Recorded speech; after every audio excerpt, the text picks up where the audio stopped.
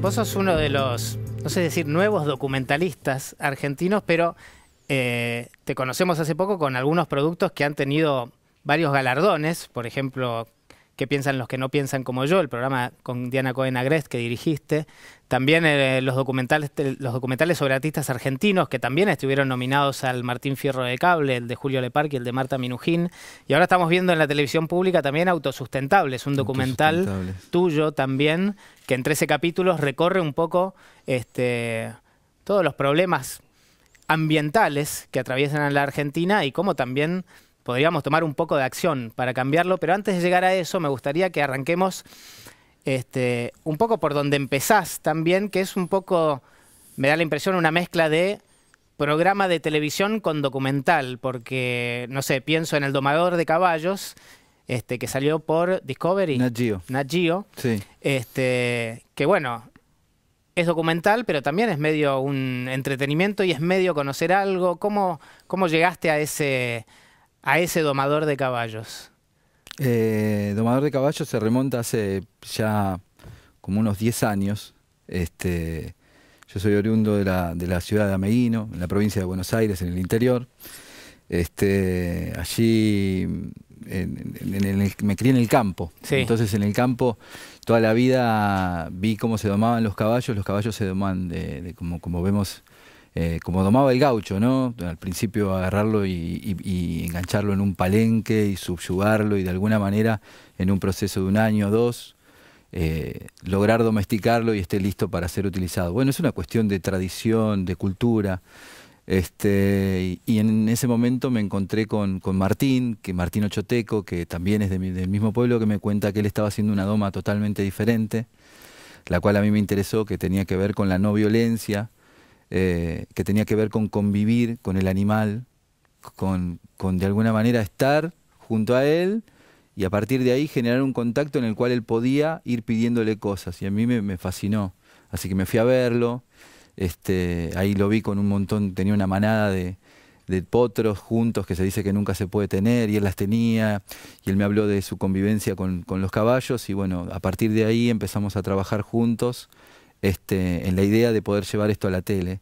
Y en ese momento era el momento de, César Millán, el encantador de perros. Y bueno, nosotros teníamos un encantador de caballos, así que fuimos con la gente de Nat Geo y entre ellos empezamos con ellos este, a alinear este trabajo que, fue domador de caballos, que recorrimos toda Latinoamérica buscando eh, caballos con dificultades y con problemas. Y de alguna manera el caballo se transformaba como en una metáfora, ¿no? Como que eh, a mí me llamó mucho la atención eso y eso es como un camino de, te diría, el principio de la transformación, porque en ese recorrido encontré en, vivimos como a veces una vida muy agitada, ¿no? Donde vamos repentinamente y de golpe te digo, Diego, necesito, pasame el agua, vení para acá, vamos a hacer tal cosa. Y uno, uno encuentra muy buenas reacciones a veces en lo que pedís o en lo que necesitas. Y lo que planteaba Martín ahí en esa serie era un poco detenerse a escuchar, observar, contemplar, comprender y a partir de ahí poder pedir y comunicarte. Y está bueno porque es algo que vos lo podés aplicar incluso en la vida, ¿no? O sea, es algo que, no solo le funciona a él, más allá de, su don y su trabajo, que, que claramente se, conecta con el animal, lo he visto hacer cosas eh, maravillosas, eh, esta capacidad ¿no? de poder ver eh, lo que hay más allá, de detenernos. Y también esto creo que tiene que ver con, lo que estamos haciendo ahora con autosustentables. Este, esto parte de un proceso. De, eso un poco se trataba Domador, el domador de caballos. Bueno, es que también el trabajo de documentalista tiene el talento de decir, paren un poco, pongamos el foco en esto. ¿no? Acá hay algo importante como para comunicar, en ese caso, en, todo, en toda la las cosas que pasaban frente a sus ojos, viste que había un tipo que era distinto en la manera en que domaba a los caballos y dijiste acá hay algo para hacer y vale la pena parar para hacerlo. Y con autosustentables me parece que es algo parecido, ¿no? Dentro de toda la vorágine diaria, este, le empezás a poner foco a distintos problemas que estamos teniendo para problemas para ayer, no para hoy, problemas que, en los que ya estamos metidos y encontraste gente que hace cosas distintas en todo el país. Eso es interesante. Eso, eso es alentador, además interesante, porque eh, de lo que tratamos de hacer con autos sustentables a través de siempre uno digo acá estoy yo pero nada más lejano de ser uno solo cuando hace estas cosas trabaja con un equipo hay muchas personas que te acompañan eh, y, te contienen y, vas trabajando en un equipo. El trabajo nuestro es en equipo no no hay forma de hacer una película o un documental solo es bastante complicado bastante difícil entonces siempre eh, está bueno recordar al equipo que, te acompaña, que siempre, siempre hay un equipo que te banca, ¿no? Siempre detrás de todo director hay un equipo que, está.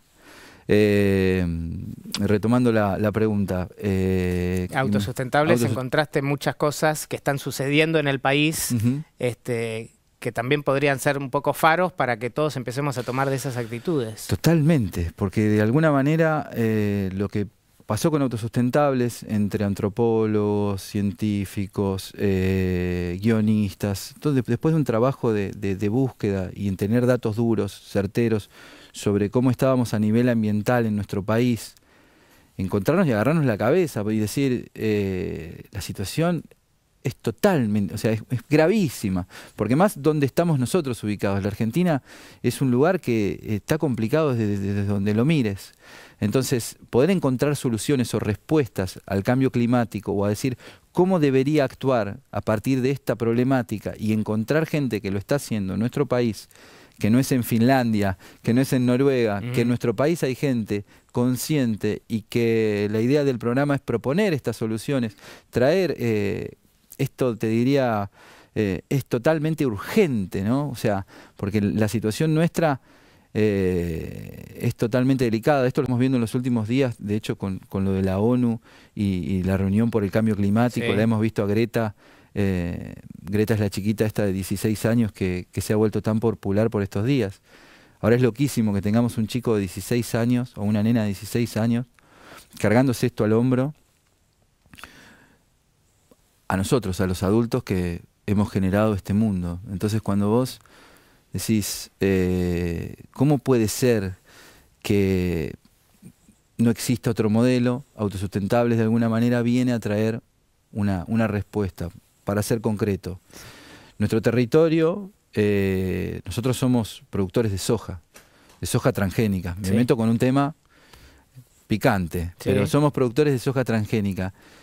Una extensión yo le digo los desiertos de soja, pero eh, vos escuchás los científicos hablar, esa soja transgénica tiene un montón de insumos llamados agrotóxicos, que tienen miles y miles de litros que se tiran sobre esa soja, y empezamos a comprobar con el programa junto a el campamento sanitario que organiza Damián Berseñasi de la Universidad de Rosario, que para hacerla corta lo que hacen ellos es como última materia para recibirse los médicos, tienen un campamento, van a relevar un pueblo y en ese pueblo eh, lo que hacen es hacer toda una encuesta de todo el pueblo acerca de las enfermedades, cómo está el pueblo, cómo está eh, la, sociedad. En ese entonces hicieron unos treinta y, treinta y pico de campamentos y el resultado que traen estos campamentos es el cambio de las enfermedades de estos pueblos.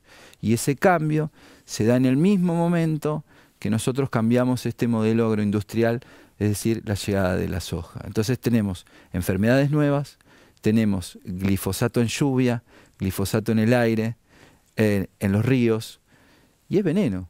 O sea, y, y, no se degrada, impermeabiliza el suelo. Y vos decís, bueno, pero es la única que hay.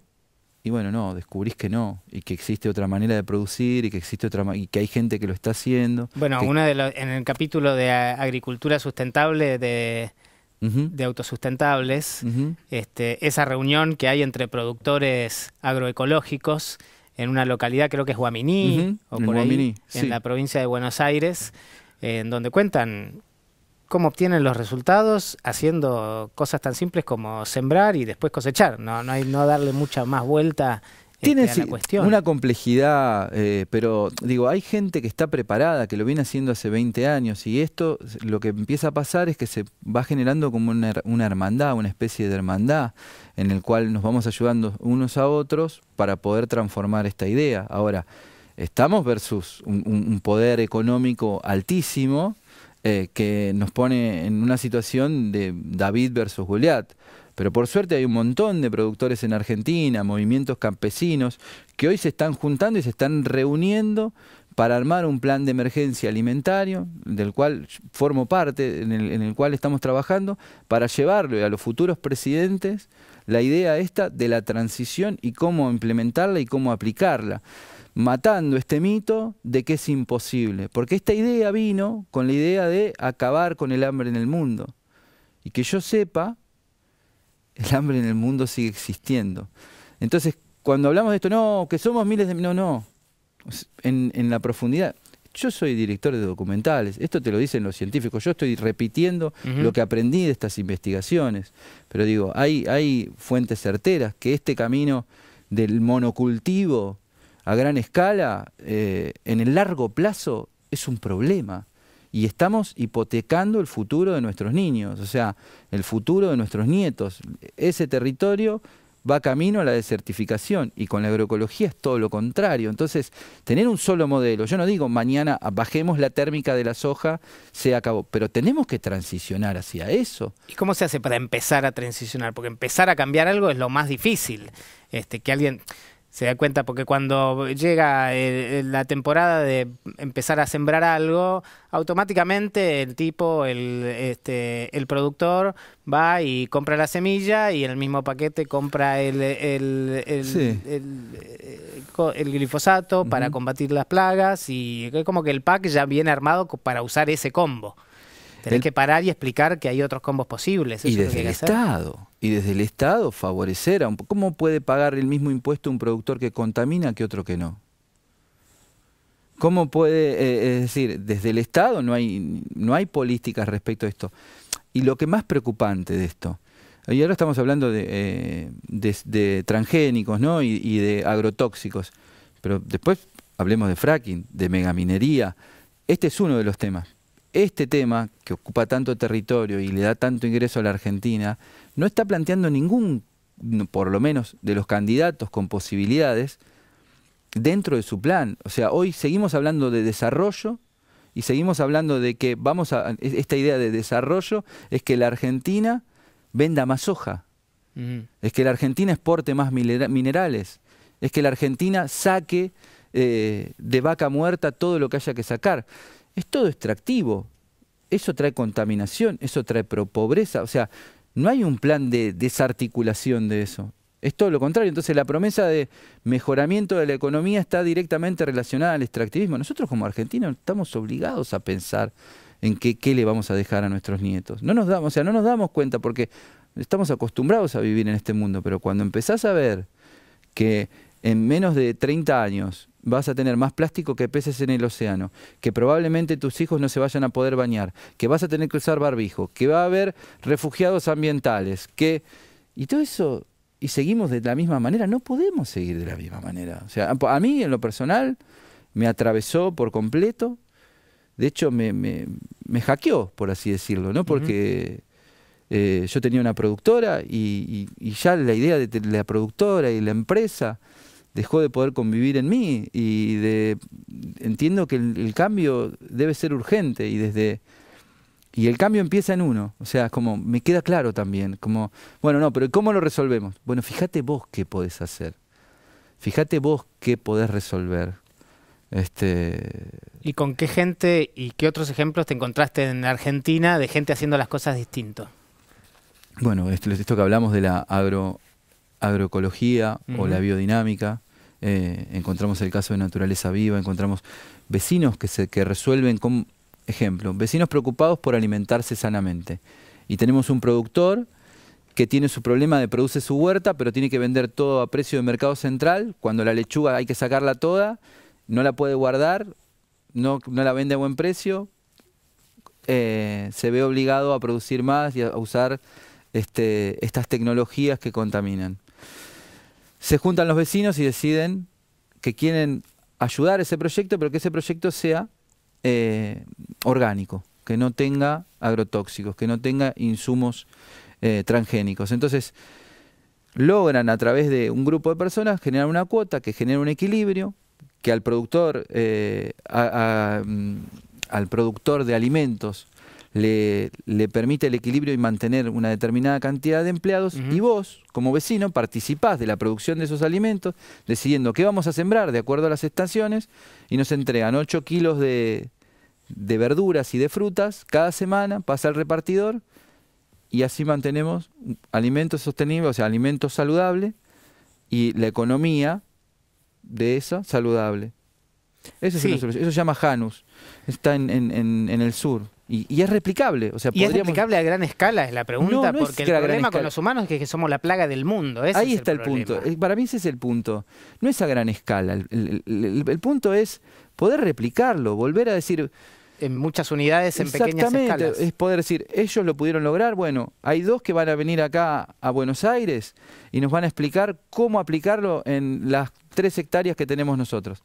Nosotros lo vamos a aplicar y le vamos a explicar a otros cómo hacerlo. Esta idea de poder hacerlo así no va más, o sea, no hay forma. Eh, lo vas viendo con los ejemplos que, que te digo, digo, eh, me acuerdo de, sigo con la alimentación, viva el monte. Fuimos a ver a Cintia, que es, eh, lleva adelante un emprendimiento que se llama Viva el Monte, que consume orgánicos. Seguramente vio su marca en alguna dietética o demás. Pero Cintia conoce el monte por una necesidad económica. Ellos se quedan sin casa y se van a vivir a un- con una carpa al costado del río y se empiezan a alimentar del monte cordobés. Sí. Esto es en las sierras cordobesas. Y se dan cuenta que en ese entorno estaban eh, todo el alimento, la salud, todas las plantas autóctonas ten- cumplían una función. Y se empiezan a alimentar eso y se dan cuenta que eso también era conocimiento y que ese conocimiento estaba, que había desaparecido en los comechingones, o por lo menos en una- unos 50, 100 años para atrás, todos conocimientos que se fueron borrando con la modernidad. Mm. Entonces ella descubre eso y, y bueno, después fueron pasando los años, se fueron acomodando y hoy producen lo que da el monte. Pero a mí lo que me invita a pensar esto es como que nosotros teníamos el paraíso en la tierra. Nuestros árboles autóctonos, nuestras, nuestra fauna, Sí. estaba el alimento, estaba la salud. Pero bueno, vino, vino, vino el hombre y se lleva puesto todo y pone eucaliptos y ponemos el pino que queda más lindo, no sé. Y nunca nos enteramos de que, de que eso existía.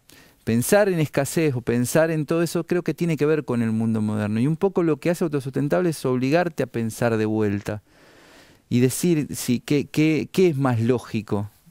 Hoy yo escuchaba, a, a Greta se la cuestiona, ¿no? que eh, hay, hay bastantes controversias respecto. Bueno, toda persona que se destaque y eh, encima a nivel global, como se está destacando ella, por lo menos en Occidente, siempre vas a encontrar un gran grupo de gente que salga a pegarle por lo que sea, me parece. Claro, pero me- la, la comparación que hacían era, eh, eh, Greta, eh, sí, seguramente hay empresas verdes detrás de ella y cuánto eh, combustible fósil ha gastado para llegar moviéndose. Y digo, ¿y nadie le dice a Coca-Cola que es hipócrita decir que eh, hay que reciclarse? Que es hipócrita decir que hay que cuidar el medio ambiente.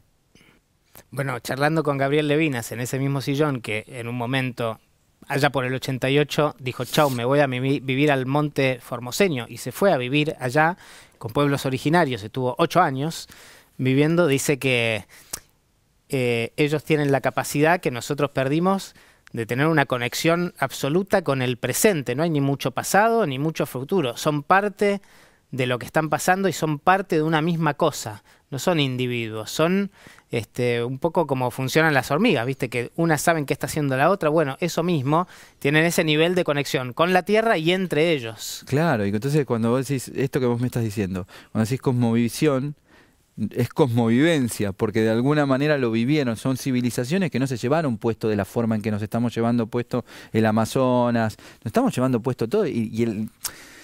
Y parece que no, pero es real el problema. Y el problema se va a ir agravando cada vez más en tanto y en cuanto los gobiernos, porque uno desde su lugar puede reciclar, generar compost, es un montón ya, porque no estás generando basura.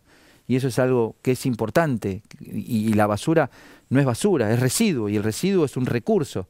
Si nos enfocamos en eso, vamos bien. Y cuando hablamos de agroecología, hablamos de alimento sano, estamos hablando de salud. ¿Quién quiere alimento envenenado? O sea, estas cuestiones para mí son fundamentales debatirlas y quiero poder, o sea, que, podamos discutir eso y no si el dólar, entiendo que nos, nos molesta a todos en todos los días, pero está en la superficie eso, creo que acá hay que profundizar la matriz eh, económica de nuestro país y ver cómo podemos solucionar entre todos. Y vos desde tu lugar, desde tu barrio, de tu vecino, lo mejor que puedes hacer es plantar un frutal en la vereda, juntate con tu vecino y transformarlo en huerta. Eh, evita como sea eh, consumir. Eh, Tiene que ver con que muchas veces dejamos de hacer cosas esperando, bueno, sí, el Estado tendría que... Bueno, empezás haciéndolo vos y después el Estado por ahí se pone a tiro, si vos lo empezás a hacer y todos lo empiezan a hacer. todos nos preocupamos por lo mismo, Se supone que van de que se supone que van de abajo para arriba, que las cosas que está demandando la sociedad llegan hasta sus representantes y sus representantes legislan, pero si vos no cambiaste, ¿qué? ¿Vos vas a cambiar porque ellos hagan una ley? No, tampoco, empieza a cambiar vos. Y ahí son y son muchos los que los que están luchando y militando para que esta transformación pase. Lo que pasa es que es una pelea, una lucha de años, el el poder corporativo es muy fuerte eh, y, las industrias extractivistas están acá hace cinco siglos. Entonces, eh, las materias primas nuestras, nuestro la fertilidad de nuestro suelo, eh, porque esto te lo puede explicar mejor un especialista, pero para entender el tema de las hojas no solo se va el grano, se va la energía de ese suelo, esa fertilidad que había, se fue en la planta y vos te vas quedando sin suelo en cada, en cada, me va a agarrar una broma y va a decir, no, discutámoslo. Discutámoslo, discutamos si queremos seguir haciendo eso y veamos la manera en cómo el, campo eh, o los trabajadores no pagan los platos rotos de esto, porque hoy lo pagan los platos rotos, porque hoy eh, terminan todos enfermos con problemas, con enfermedades, producto de los agrotóxicos. Y si no, es ir a ver un hospital de oncología eh, en la parte de, los niños y ves un montón de niños, y en adultos también. O sea, eh, eh, el tema de los agrotóxicos es un tema serio y, la idea del extractivismo también. Creo que necesitamos, eso es un poco lo que invita este, autosustentables. Ahora estamos terminando la película y, también vuelve, vuelve con el tema, ¿no? Autosustentables la película que son unos 90 minutos a lo largo donde vos podés entender un poco qué es lo que nos está pasando. Y con ahora con la difusión a través de la televisión pública que llega a todos los extremos del país, ¿empezaste a tener algunas devoluciones de otras cosas que están sucediendo también? Es re lindo eso, porque digo, eh, este canal eh, se ve en todo el interior. Yo soy del interior y muchas veces el interior parece otro país, porque todo pasa por Buenos Aires, pero es Argentina del interior ya está de alguna manera transicionando. Es decir, hay muchas personas despiertas. A mí me escribe, el otro día recibí un mensaje de una chica eh, que era de España, que lo había visto a través de internet. Y, la verdad que me impresionó el mensaje, que había visto la serie, que venía pensando, ella era una economista que trabajaba en Barcelona, y que había visto la serie y que se había dado cuenta que no podía creer que en su país existían tantos proyectos de transformación y que se quería venir a Argentina y que estaba queriendo cambiar porque no entendía esta idea de generar dinero y se sentía así y había decidido renunciar a mm. su trabajo. y me escribía que gracias porque había, iba a ser un cambio de vida y si podía orientarla para qué lado venir. Bueno, terminamos teniendo una charla, eh, ella no lo podía creer. Entonces, para eso está, para eso para mí es wow, decís, cuando le transformás de golpe a alguien o alguien empieza a ver de otra manera y dice, pero che, la verdad es que, que con que uno, viste, cambie, bueno, estamos. O sea, creo que tiene que ver con eso. Entonces hoy se me hace inevitable no relacionar mi trabajo a estas cuestiones. No podría eh, hacer otra cosa. Eso te iba a preguntar, si tu carrera de, documentalista va a seguir orientado por, por este camino. 100%. Te diría que sí, porque todavía eh, hay cosas que visibilizamos y que se han puesto en agenda, pero hay cosas que no. ¿Y de las autoridades tuviste alguna respuesta, alguien, alguna repercusión, algo que haya pasado mientras lo hacías o con su difusión? Me ha pasado que me han llamado de algún municipio por ahí que me ha preguntado o ha querido este, transicionar a, hacia la sustentabilidad. Todavía falta mucho, por lo general quieren poner el cartel de sustentabilidad antes de pasar por el proceso. Y también me pasa que me cuesta muchísimo este, esa idea de, ir a ayudar en ese sentido, me, interesa que el cambio sea verdadero y estoy para ayudar, eh, participo eh, en distintas actividades que tienen que ver con, con, la transformación social. Digo, soy papá fundador de una escuela Waldorf, eh, eso, ese proceso junto a mi mujer, mis hijas y toda la comunidad nos transformó, nos cambió, porque ser papá fundador de una escuela Waldorf, eh, la lumbrera que la voy a nombrar, que está en, Ingeniero Mashwich, eh, fue un proceso de transformación, porque éramos un montón de padres preguntándonos a dónde queríamos una escuela Waldorf para nuestras hijas y, no, no, no, había cupo, y éramos nueve, y decíamos, ¿qué hacen? Y ¿por qué no hacemos una? Y fue una locura, como decir, bueno, y fue ponerle amor, y ponerle cariño, y trabajo, y dedicación. Y hoy esa escuela existe. Y hemos brindado una solución a un montón de padres que no, que no estaban, o sea, que no tenían esa solución. Y hemos ido conquistando, y cada vez se suma más gente. Entonces, cuando vos ves la fuerza del trabajo colectivo, cuando vos ves que sumando fuerzas podés transformar y, no dependes de un Estado. Tarde o temprano necesitas de ese Estado. Ese Estado te tiene que avalar y decir, acá hay una escuela, ese Estado pero vos le estás trayendo una solución a ese Estado. Bueno, hay una parte donde sí podés coexistir. Ahora, cuando vos tomás las riendas de la situación y tenés ayuda y tenés compañerismo, trabajo, dedicación, y vamos en un objetivo por el bien común, bueno, transformás el mundo. O sea, eh, es lo que te puedo decir de mi propia experiencia, lo que veo, lo que siento, y creo mucho en estos, en estos focos que se están generando en distintos aspectos de transformación. Y, la transformación empieza en uno y de ahí se expande. Felicitaciones por Autosustentables y, gracias. y gracias por venir, Elías. Gracias, Diego. Un gustazo.